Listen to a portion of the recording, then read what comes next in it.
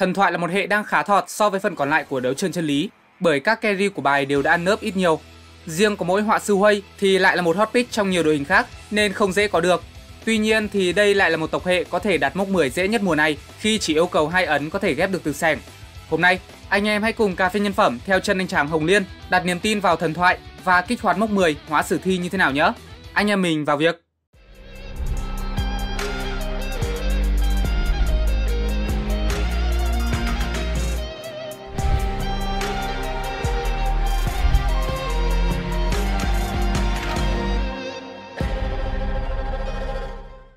Trận đấu được diễn ra ở cổng không gian lò cấp người đá, nơi sẽ cho người chơi một người đá với hai trang bị hỗ trợ ngẫu nhiên.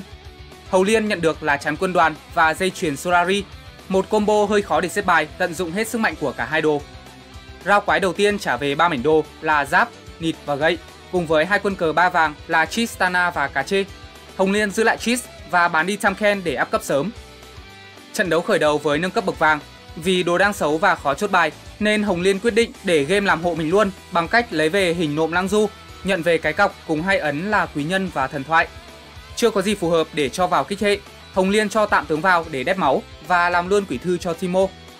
Đối thủ đầu tiên là nhà cũng lựa chọn hình nộm lang du. Nhà này đã có form đép là định mệnh nhưng chưa chốt được trang bị. Lại nối Thresh và Yasuo nên không có sát thương để đục qua dàn tanh của Hồng Liên bởi hai trang bị hỗ trợ của anh bắp rất nhiều chỉ số chống chịu. Anh giành chiến thắng với một chess. Kobuko có mặt ở cửa hàng 2.2. Hồng Liên cho vào luôn và lắc ra được con số 1. Đếm số tướng thừa vừa đủ 10 vàng nên anh bán luôn cho tròn. Xong xuôi, không quên xếp đòn Timo lên hàng 1, thành công cắt chuỗi một nhà khác cũng chơi thần tài. Mình thì chỉ nhận về trận thua một chess nhẹ nhàng. Hồng Liên nâng tầm may mắn và lắc ra con số 4. Anh check thấy có một nhà chỉ 3 chess trên sân nên lại phải xếp đòn. Nhưng đen thay lại gặp bố Yone Thiên Cung nên anh bị đấm nguyên sàn với 4 chess. Đi chợ nhặt về mảnh nước mắt, Hồng Liên tiếp tục giữ ba chết trên sân để đòn nhà chơi chung thần tài kia, nhưng đối phương lại nhốt người đá. Hồng Liên không thể làm gì được vì anh còn nguyên cái cọc phải xử lý, lại còn hơn Timo cầm quỷ thư nên anh đành phải mất chuỗi thua. Cũng không quá tiếc khi trước đó mới thua hai vòng. Để nghỉ ngơi giữa hiệp thì xét ghé thăm ở 2.6 và biển lớn các linh thú, tiếp sức mạnh cho các cầu thủ. Trở lại với Hồng Liên, sau khi đã gặp cả hai nhà thần tài thì giờ anh có thể xếp bài lại để có thể đép một cách tốt nhất anh cho Riven 2 vào sân và thành công đép được hai chest trước một nhà cấp 5. Bầy quái đá trả về khá nhiều mảnh đồ, bao gồm váy, hai cái cung cùng kiếm và nước mắt. Vì đang chơi thần tài nên chưa thể chốt đổ vội. Dàn tanh mình cũng khá cứng nhờ Riven 2, cọc, người đá và ba quý nhân. Nên khi gặp đối thủ là một nhà Sivir xạ thuật sư, Hồng Liên chỉ lắp bùa xanh cho Timo, đép một cách khéo léo và chỉ nhận thua hai chest.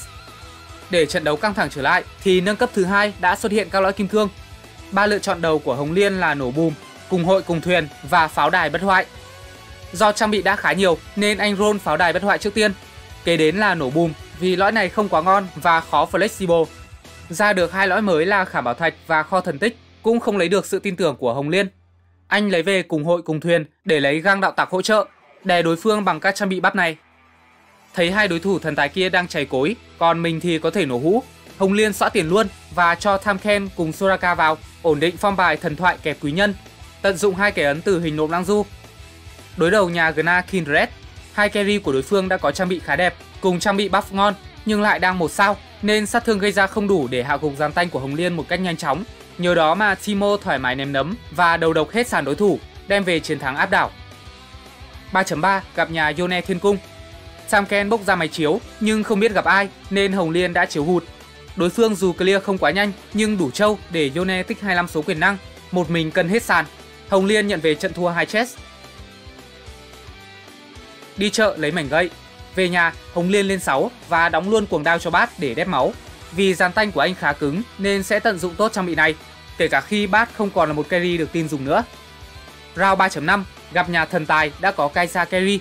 Cô chỉ có mỗi cái cung xanh nên chưa gây được nhiều sát thương Xạ thuật sư cũng chưa có mốc 4 nên hàng sau của Hồng Liên được an toàn tuyệt đối để chơi game. Easy win cho anh chàng. Thấy đồ hỗ trợ là chưa đủ, Jana xuất hiện ở 3.6 để cho thêm hai cái gậy lốc khiến việc check nhà trở nên quan trọng hơn. Đối đầu nhà U Linh mặc ảnh. Vì hai bên quá nhiều tướng cận chiến nên đã tạo ra nhiều cản trở hàng trên. Không tìm được mục tiêu nào ở đó nên Volibia đã luồn xuống vị trí của Timo. Gấu ăn thịt trồn rồi đấm luôn ông bụt bên cạnh. Hồng Liên nhận về thất bại. Bỏ qua những vòng đánh caro mệt mỏi, Hồng Liên tiến đánh bầy sói và tiếp tục nhận về hàng loạt mảnh trang bị gồm nước mắt, kiếm, gậy và nịt. Có khá nhiều đồ nên anh lên luôn cấp 7 ở 4.1, roll mạnh tay lấy đủ 5 thần thoại, sau đó lên bắt 2 và ghép hai cái cuồng đao. Còn hàng trên thì ghép dây chuyền và thú tượng cho Chogat. Đối thủ vòng này là nhà Yone Thiên Cung. Hồng Liên lốc thành công chủ lực của đối thủ. Bát được tích hai cuồng đao nên bắn rất nhanh. Đến khi Yone bay được vào ông bụt thì cả sàn đã bị clear hết rồi. Ăn một loạt míp vào mặt và nằm luôn, chiến thắng cho Hồng Liên. Trận đấu chốt lại với lõi vàng cuối cùng. Ba lựa chọn đầu là trí tuệ siêu công nghệ, ăn uống đầy đủ và bộ đôi bùng nổ. Cả ba lõi này đều không mang lại nhiều giá trị. Hôn mê roll cả ba và tìm thấy huy hiệu thần thoại ở slot cuối cùng. Anh lấy luôn và thay Lilia vào sân, sau đó ghép ấn cho Riven kích đủ 7 thần thoại. Round này gặp nhà Kaisa Kerry đã kích 4 xạ thuật sư, lõi nảy bật nên cô dễ dàng xả đạn thẳng ra hàng sau. Đội hình của Hồng Liên chỉ được hàng trên cứng chứ còn dưới như tờ giấy nên bay màu trong chốc lát. Anh nhận về trận thua nguyên sàn trước bài top meta này. Vì bài đang yếu mà lại ít tiền nên Hồng Liên buộc phải roll để update bài và bằng một cách nào đó rất ma thì anh lên được luôn Lilia 2 sao, bán Timo để đổi đồ luôn cho cô nàng thôi. Đối đầu nhà Yone Thiên Cung, dù Yone chưa ba nhưng đối phương đã có Ken 2 cùng 4 tử thần. Thêm vào đó là cái ấn Thiên Cung nên có thể lên mốc cao mà chưa cần áp cấp. Vì xếp bài để hit cái lá chắn quân đoàn nên Hồng Liên có để đội hình vào một bên của bản đồ. Điều này làm cho lần kỹ năng đầu tiên của Yone đã đâm thẳng vào tìm người yêu. À nhập, tìm Lilia rồi. May mà chưa lên 3 sao nên không đủ sát thương để kết liễu ngay. Lilia chỉ có hai đồ không quá ngon và không được kích thuật sĩ nên ra chiêu rất chậm. Chưa kịp hạ gục đối phương thì tanh đã nằm hết.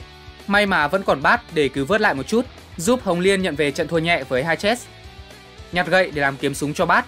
Về nhà, anh roll thêm chút và có Saya thay cho Timo. Round này gặp nhà Gna Kindred. Cả hai đều chưa lên 3 nên không có gì đáng lo ngại. Giàn tanh cover đủ lâu cho bát tích số cường đao dọn sàn. Chiến thắng cho Hồng Liên. Sau một hồi roll tiếp thì cuối cùng anh cũng tìm được Sam Ken để đổi cái găng hỗ trợ ra ngoài. Trang bị đồ thuần tanh cho con cá chê và cái găng cho quân cờ khác flexible hơn trong việc xếp bài. Đối đầu nhà Kaisa Kerry, cô nàng mới chỉ một sao và trang bị không quá ngon nên không đủ khả năng xuyên qua giàn tanh. Cá chê không cần 3 sao cũng chặn đứng hết toàn bộ sát thương đấy. Easy win cho Hồng Liên. song round quái thường cuối cùng là chim biến dị. Hồng Liên may mắn nhặt cục báu vật vàng và có luôn huy. Sau đó anh hoàn thiện nốt đồ cuối cho Lilia là kiếm súng. trách bài để xếp cái gậy lốc trên người Nautilus. Anh đổi xuống dưới thì lại ngay chỗ Seiya, khiến cô biến thành Rakan và mất đi hai xạ thuật sư, đổi thành ba quý nhân. Đối thủ round này là nhà Pro Build mặc ảnh song đấu. Do xếp gần nhau hít đồ hỗ trợ nên Bat và Lilia đã bị dính skill Morgana từ sớm nên gây sát thương chậm hơn. Đồng thời cả hai mất đi rất nhiều máu, khiến cho Bat không thể sống được khi dính phải lưỡi kiếm của Irelia. Chỉ còn lại Volibear 1 cân 2. Tamken rất trâu, nhưng Lilia lên chiêu quá chậm nên đưa trận đấu vào overtime. Mãi mới hạ được con gấu đỏ bên kia, mang về cho Hồng Liên chiến thắng sát nút. 5.2 lên 8, kẹp Cockmore lấy thuật sĩ. Hồng Liên chỉ cần đợi lên 9 nữa thôi là có thể hoàn thiện 10 thần thoại rồi. Đối thủ round này là nhà Yone Thiên Cung. Đối phương kê ngay Manfai với mùa đông ngay mặt để counter bat. Hồng Liên cũng không vừa khi chiếu thẳng mặt Yone và Kindred. Tuy vậy thì bài đối phương vẫn quá rác, clear dàn tanh trong nháy mắt. Yone lao thẳng vào, làm thịt bát sau hai lần tung chiêu. Ken dọn dẹp xong dàn tanh cũng lao vào hốt Lilia. Hồng Liên nhận thua 3 chess Vì còn mỗi 24 máu nên Hồng Liên phải chơi cẩn thận nếu muốn lên được 10 thần thoại. Anh cầm con Nautilus với cái máy chiếu lên, xếp cẩn thận thành công chiếu thẳng mặt Kerry của nhà Diana Zoe. Cả hai bên đều đánh bằng chủ lực hàng sau. Đối phương chỉ có Diana nên các quân cờ còn lại nhanh chóng nằm xuống. Còn bài của Hồng Liên thì đông nhà đông cửa, lại còn được buff máu nhờ thần thoại nên đối phương mất rất nhiều thời gian để hạ được. Khi Diana tiếp cận bát thì không còn đủ máu. Zoe ở sau dính đạn xạ thuật sư nên nằm xuống theo. Anh giành chiến thắng với duy nhất bát còn sống. Nhờ có Soraka mà vòng đi chợ lần này có thêm một trang bị hỗ trợ Hồng Liên lấy về trái tim khổng thần cùng lá chắn quân đoàn để tăng thêm chống chịu. 5.5 gặp nhà song đấu mặc ảnh. Đối phương đã update được IR2 nhưng dù có diệt đi nữa thì cũng khó mà tiêu diệt nhanh bài đấu lấy thịt đè người của Hồng Liên. Lee Sin và Volibear ở trên nhanh chóng nằm xuống. Ire cũng ăn đạn lạc từ bát, Lilia và bị Huey kết liễu. Hồng Liên đấm luôn nhà này lên bảng. Tiếp tục chơi game một cách cẩn thận. Do các nhà trong lobby đều tham đồ hỗ trợ nên Hồng Liên dễ dàng xếp máy chiếu Đến nhà Kaisa từng đấm anh nguyên sàn, giờ cũng không còn đủ sát thương hạ gục dàn tanh thần thoại này nữa. Easy win. Hồng Liên lên 9 ở 6.1, anh cho vào sân 10 thần thoại, cả đội lập tức hóa thành sử thi, biến thanh máu trở thành siêu dày, đồng thời tăng hàng loạt chỉ số tấn công. Đối thủ mở bát là nhà Yone Thiên Cung. Trừ Yone có áo choàng ra thì mọi quân cờ còn lại đều bốc hơi sau lần oanh tạc skill đầu tiên của các thần thoại. Anh trai cố gắng níu kéo nhưng vẫn không thể giúp team thoát khỏi trận thua gần nguyên san. Chiến thắng đã được ấn định cho Hồng Liên. 6.2 gặp nhà Zoe Diana. Diana 3 sao chống đỡ khá tốt với 10 thần thoại, nhờ vào khả năng hồi phục. Nhưng đến ngưỡng máu nhất định thì Tamken đã nuốt luôn cô mà không cho cơ hội. Đánh dựa vào sát thương của hàng sau, nên bài của Hồng Liên vẫn cần chút thời gian để dọn sạch sàn đối phương. 6.3 đối đầu nhà Kaisa. Nhà này đã lên 10 và thêm Lissandra vào để counter dàn tanh cứng của 10 thần thoại. Điều này là khá thành công bởi cô đã phong ấn được Tamken. Các xạ thuật sư của đối phương bắn thẳng skill ra sau nên clear được vài quân cờ yếu máu, nhưng như thế là không đủ để cứu nhà này khỏi bị đấm lên bảng bởi Hồng Liên. Chỉ còn lại một đối thủ là nhà Yone Thiên Cung. Vì quá nâu hốp nên nhà này đã FF luôn ở round đi chợ và nhường lại vị trí top 1 xứng đáng cho Hồng Liên cùng bài đấu 10 thần thoại của anh chàng. Để vươn tới đỉnh cao với 10 thần thoại trong trận đấu này thì Hồng Liên đã nhờ rất nhiều vào khả năng đánh lâu dài của bát. Nếu không có ông Bụt đánh giai đoạn giữa game thì chắc chắn anh sẽ không thể nào đủ máu triển khai hết bài đấu được. Có thể thấy nếu đủ chống chịu thì bát vẫn là một quân cờ carry uy tín không thể bỏ qua. Cảm ơn anh em đã xem hết video. Nếu thấy hay, hãy để lại một like, share, đăng ký kênh và ấn vào nút chuông thông báo để ủng hộ cà phê nhân phẩm ra thêm những video phân tích trận đấu hấp dẫn nhé. Còn bây giờ thì xin chào và hẹn gặp lại anh em trong những video lần sau.